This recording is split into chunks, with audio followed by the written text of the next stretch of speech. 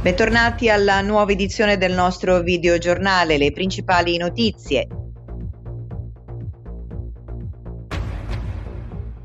Bassano, manutentore, muore dopo otto giorni in ospedale, era rimasto folgorato in un capannone. Maurizio Erle aveva 47 anni, era un operaio esperto, motivo per cui rimane da spiegare la causa della sua morte. Lo scorso 4 gennaio era impegnato con dei colleghi in un intervento di manutenzione in una ditta di Lozzola, Valbona SRL, quando improvvisamente è stato colpito da una scarica elettrica da 15.000 volt, espirato dopo otto giorni di lotta in rianimazione. Vicenza apre partita IVA commerciando piante e fiori, ma si tiene il reddito di cittadinanza. Un caso emblematico sul tema dei sussidi economici statali è quello di una fioraia del capoluogo che dopo un anno di contributi con il reddito di cittadinanza aveva deciso di aprire una propria attività, senza darne notizie all'Inps che proseguiva ad erogare il denaro regolarmente intascato dalla trentenne vicentina che dovrà restituire 1400 euro e rispondere di una denuncia.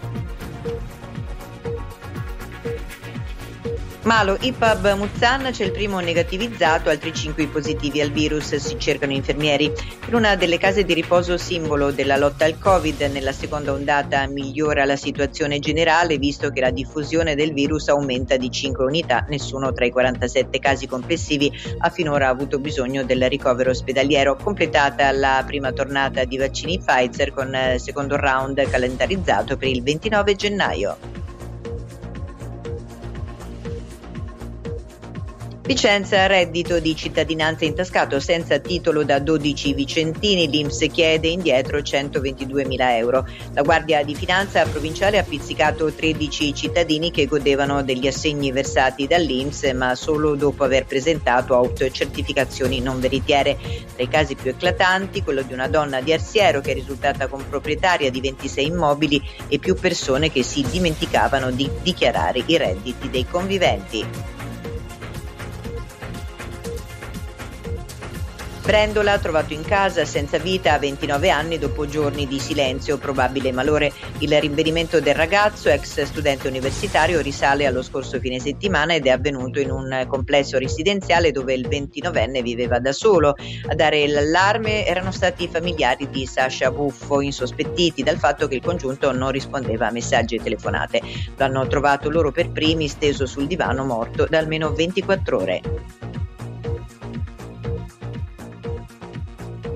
Valdagno, disgrazia in una contrada, l'auto si muove, travolge il proprietario, muore un 69enne. Il dramma si è verificato mercoledì intorno alle 11 eh, sulle colline sopra Valdagno contro Barbarana. Nulla hanno potuto fare i soccorritori per estrappare un pensionato di 69 anni al tragico destino. Il nome era Mario Farardo, reso noto dopo l'avvenuta informazione ai familiari. Cornedo Vicentino si schianta per un arresto cardiaco salvo grazie alle manovre di rianimazione di un familiare. L'uomo, un 59enne, ha perso il controllo dell'auto sulla provinciale 46 andando a schiantarsi contro un veicolo. In auto insieme a lui c'era un familiare che ha allertato il 118. Una volta stabilizzato è stato trasportato all'ospedale San Bortolo in rianimazione. Torre Belvicino, Fonte Margherita sostiene bar alberghi e ristoranti per un valore di 175 mila euro, il 30% nel Vicentino. La scelta è maturata nella consapevolezza che nell'anno appena trascorso, secondo i dati di alcuni attenti osservatori, questo mondo, gli operatori del settore chiamano ORECA, acronimo di Hotel Restaurant Catering, cioè tutto il settore del mangiare e bere fuori casa, ha subito un calo di circa la metà del fatturato, se non oltre.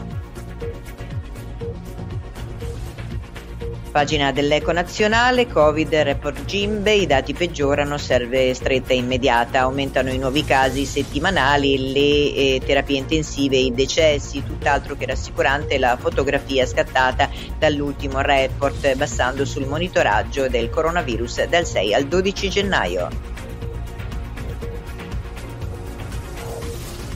Politica, governo in crisi, Fico sospende l'aula convoca i capigruppi, finisce il governo Conte bis, nonostante l'apertura del Premier a un patto di legislatura il leader di Italia Viva annuncia le dimissioni delle ministre Bellanova e Bonetti, Conte le accetta informa il Presidente della Repubblica. All'estero OMS a Wuhan, 10 super esperti nella città origine del virus. Sono sbarcati in Cina i virus hunters, i cacciatori di virus, i 10 super esperti dell'Organizzazione Mondiale della Sanità provenienti da Stati Uniti, Gran Bretagna, Germania, Olanda, Danimarca, Russia, Qatar, Vietnam e Giappone, selezionati dall'Agenzia dell'ONU con il beneplacito di Pechino.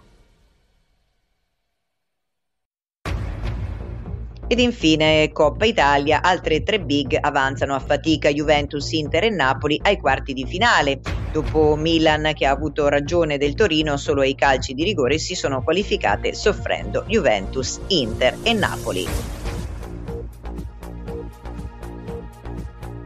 È tutto, a risentirci.